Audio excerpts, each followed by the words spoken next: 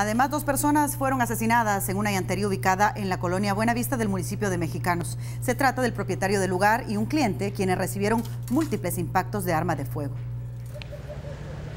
Sujetos a bordo de una motocicleta se acercaron a la llantería y sin mediar palabras asesinaron al propietario, identificado como Douglas Gulfredo Umaña Calixto de 49 años y a Jorge Dimas Álvarez de 35. El sistema 911 nos alerta de que habían habido disparos aquí en la calle Mariona, frente, eh, en la colonia Buenavista, frente al punto de la ruta 2A, por lo que los sectores vienen al, al lugar y encuentran ya a las dos personas fallecidas del sexo hombre.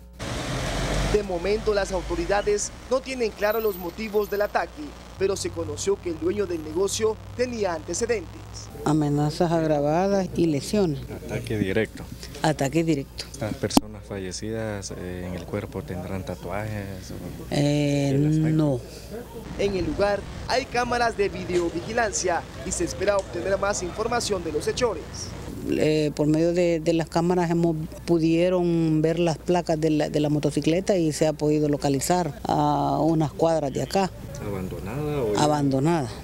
La policía reconoce que se trata de una zona muy violenta. Sí, esta zona es asediada por pandillas. Pues fíjese que al parecer no.